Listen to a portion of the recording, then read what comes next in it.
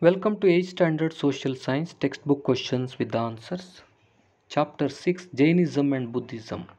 Exercises. First main complete the following sentences by using suitable words in the blanks.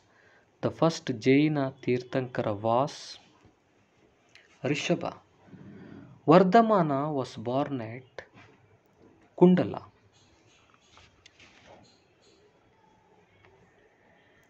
Mahavira attained dash in his 42nd year. Enlightenment, Kaivalya. Mahavira attained Nirvana at dash in his 72nd year. Pavapuri. The original name of Gautama Buddha was Siddhartha.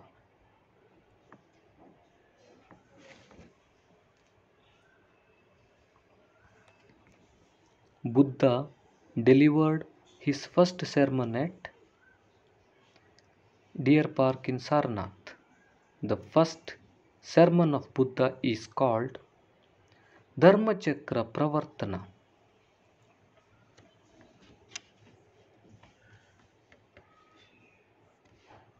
Second main answer in brief the following questions.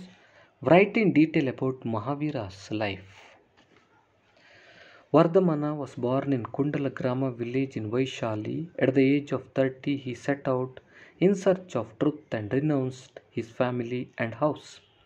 He wandered for 12 years in this quest. He meditated and punished his body by fasting. He achieved enlightenment at the age of 42.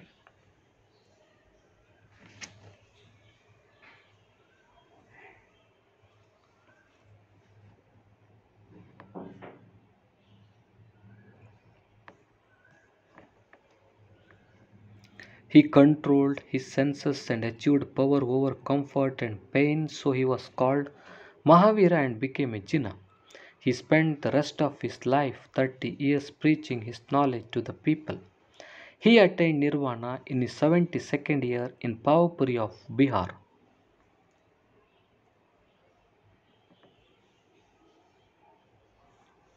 What are the three Ratnas?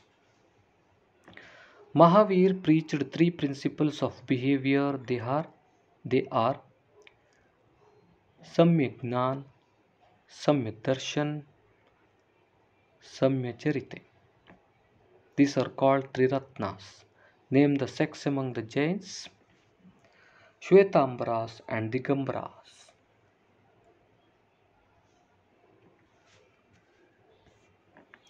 What is the middle path?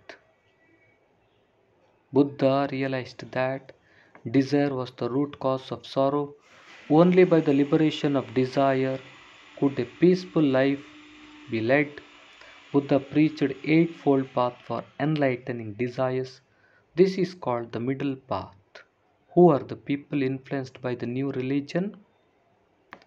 Wealthy merchants, artisans, and common people were influenced by the new religion.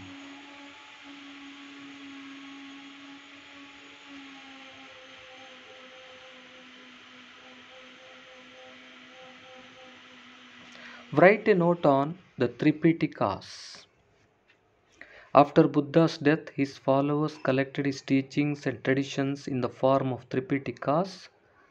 These are Vinaya, Dharma, and Abhidhamma Pitakas.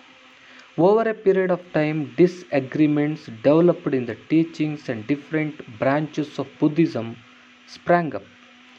Thus, Hinayana, Mahayana, Vajrayana, and their sutras came into being.